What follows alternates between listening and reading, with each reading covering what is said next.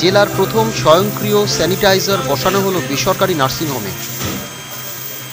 পূর্ব বর্ধমান শহরের নবাবহাট এলাকায় রেনের সাথে একটি বেসরকারি নার্সিংহোমে এই প্রথম বর্ধমান শহরে স্যানিটাইজার বুম নামে একটি মেশিন নিয়ে আসা হয়েছে। কার্যত এই মেশিনের কাজ হলো অটোমেটিক ওই মেশিনের ভেতর প্রবেশ করলেই মেশিন থেকে স্যানিটাইজার বেরিয়ে এসে সারা শরীর স্যানিটাইজার হয়ে যাবে।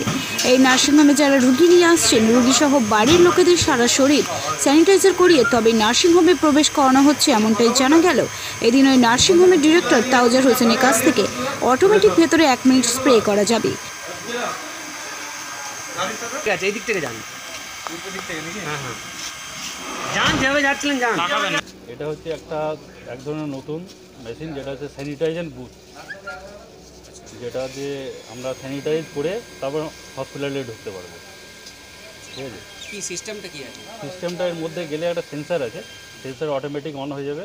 আর মধ্যে যে কেমিক্যাল দেওয়া আছে সেই কেমিক্যালের সঙ্গে ও লেগে যাবে। অটোমেটিক্যালি ওটা এটা কি আহ, বর্ধমানে কোথাও এটা আছে? না না, বর্ধমানে এটা ফার্স্ট তো এটা উদ্যোগ নেওয়া হচ্ছে কেন? মানে কি মানে কি চিন্তা ভাবনা করা দেখুন এটা এখন যে বিশ্বের মধ্যে মহামারী যে করোনা ভাইরাসে যে চলছে আমরা জানি না কোন পেশেন্ট পার্টি কোথা থেকে কীভাবে কি আসছে।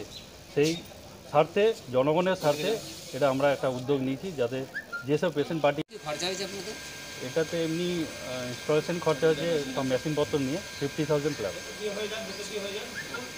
তো এতে কি মনে হচ্ছে? মানে ভেতরে ঢোকার সময় কি প্রতিটি মানুষকে এটা করতে হবে? হ্যাঁ হ্যাঁ ভেতরে যারাই আসে আমাদের আমাদের সিকিউরিটি আছে ভেতর যেই আসুক সেটা এর মধ্যে দিয়ে যেই তারপরে হসপিটালে প্রবেশ করতে হতে পারে।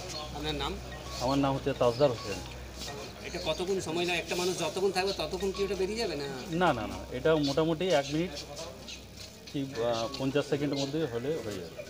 তার মধ্যে যতজন ঢুকবে নাকি? না না একজন করে এক এক এক একজন। কিন্তু এতক্ষণ কেউ থাকছে না? করে সঙ্গে সঙ্গে বেরিয়ে যাচ্ছে। না থাকছি। নাম পরিচয় আমার নাম হচ্ছে তাজদার হোসেন আমি বিমস হসপিটাল একজন ডিরেক্টর পূর্ব বর্ধমান থেকে পাপাই সরকারের রিপোর্ট টাইমস বাংলা